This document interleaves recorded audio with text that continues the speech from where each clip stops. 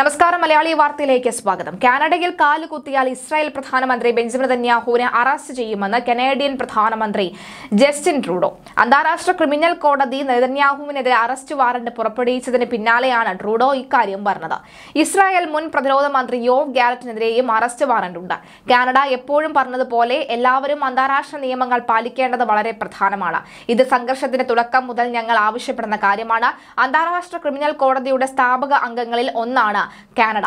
ഞങ്ങൾ അന്താരാഷ്ട്ര നിയമത്തിനു വേണ്ടി നിലകൊള്ളുന്നു. അന്താരാഷ്ട്ര കോടതികളുടെ എല്ലാ നിയന്ത്രണങ്ങളും വിധികളും ഞങ്ങൾ അനുസരിക്കും. കാരണം ഞങ്ങൾ കനേഡിയന്മാരാണ്.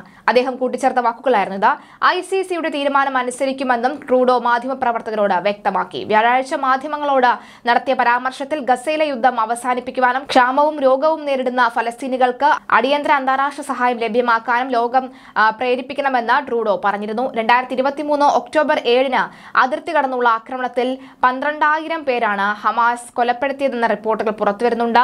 ബന്ദികളെയും മോചിപ്പിക്കണമെന്നും അദ്ദേഹം ആവശ്യപ്പെട്ടു. സിവിലിയന്മാരെ സംരക്ഷിക്കുന്ന വെടിനിർത്തൽ നാം കാണേണ്ടതുണ്ട്. സമാധാനപരമായി ഫലസ്തീൻ രാഷ്ട്രത്തിനൊപ്പം സമാധാനപരമായ ഇസ്രയേലിനെയും ഉൾക്കൊള്ളുന്ന ദുരാഷ്ട്ര പരിഹാരത്തിലേക്കുള്ള പാതയിലേക്ക് തിരികെ പോകേണ്ടതുണ്ട് എന്നും ട്രൂഡോ പറയുന്നു. അതേസമയം ഇത്തരം തീരുമാനവുമായി കാനഡ സ്വയം അണിനിരക്കുന്നതിൽ ഞങ്ങൾ ലജ്ജിക്കുന്നു എന്നാണ് ഇസ്രയേലിന്റെ പ്രതികരണം.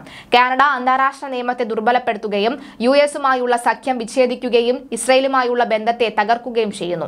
ഈ തീരുമാനം ആഗോളവേദിയിൽ നീതിക്ക് വേണ്ടിയുള്ള വക്താവ് എന്ന നിലയിൽ കാനഡയുടെ പങ്ക് ഇല്ലാതാക്കുമെന്നും അവരുടെ സോഷ്യൽ മീഡിയ പ്ലാറ്റ്ഫോം അറിയിച്ചു.